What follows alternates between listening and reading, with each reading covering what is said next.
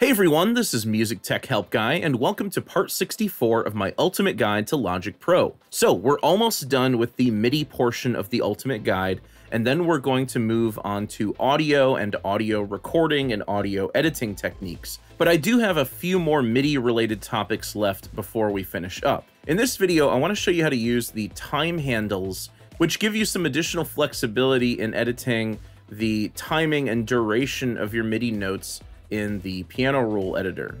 This is one of those tools that a lot of people don't really know about and can be really helpful if you're trying to play around with the timing of just a specific selection of notes, as opposed to playing with the timing of entire MIDI regions in the tracks area, or having to use the transform window. If you want to follow along with the tutorial, I've made this demo project available as a free download in the video description below. But before I get into the tutorial, I want to quickly tell you about the sponsor of this video, Boombox.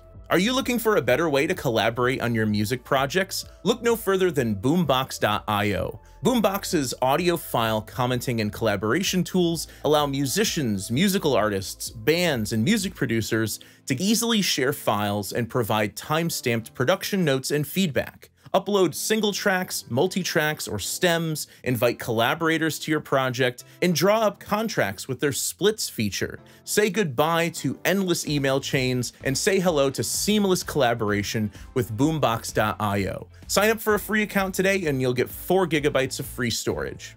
Okay, so first let me demonstrate the basic functionality of the time handles, and then I'll show you some practical examples in this project. To turn on the time handles, you're going to go up to Functions in the Piano Roll Editor, and you can toggle this on or off here. You can also use the shortcut Control T. Now, you want to use the time handles with the pointer tool because the pointer tool is what you use to make a selection. So if I turn off the time handles and make a selection, it just selects the notes.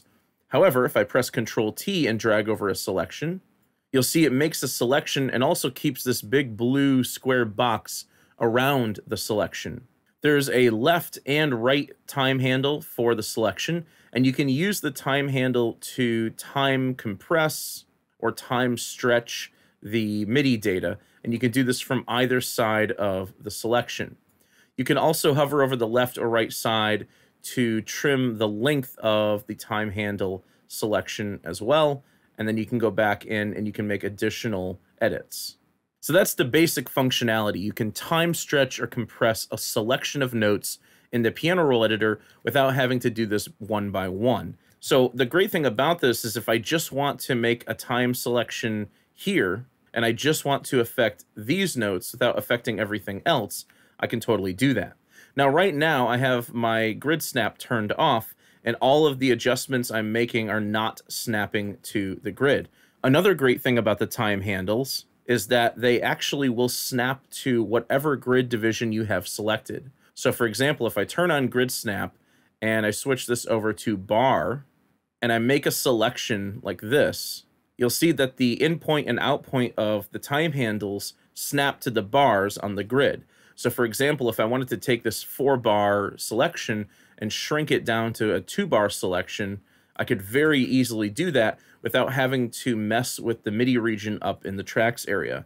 Or vice versa, I could make a selection and I could stretch this out to four bars.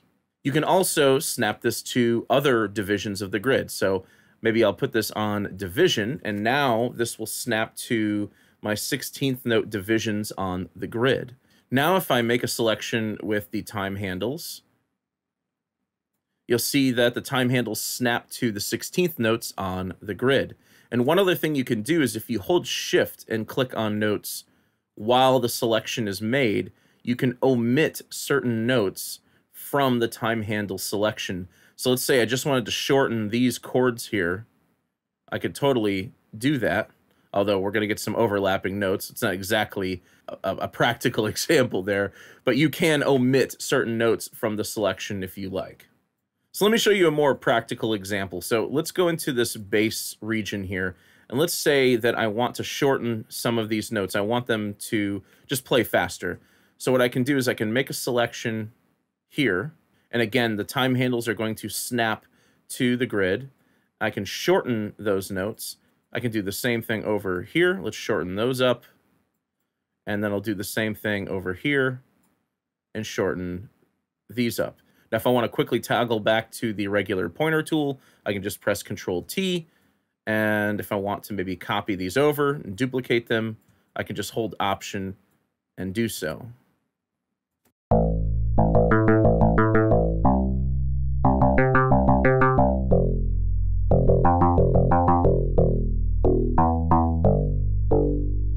Or for example, in my beat here, maybe I want to take this hi-hat pattern and I want to essentially make it double time while leaving the kick and snare alone. So again, I'll just hit Control T to toggle the time handles, drag over just those hi-hats, and probably what I need to do here is set this to a bar snap. And let's just make sure that the time handles are snapping to the bar lines. Then I can shorten that turn off the time handles, drag over these, hit Command R to repeat, and there we go.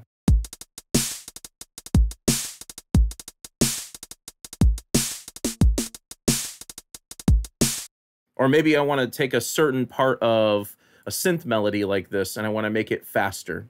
For example, I've got this run of eighth notes coming up here to the note C here and here.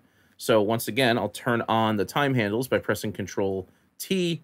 I'll use division snap. I'll select only the range that I want to affect. And instead of dragging right to left, I'm going to drag left to right this time. And I'll do the same thing over here. And I'll just shorten up the selection.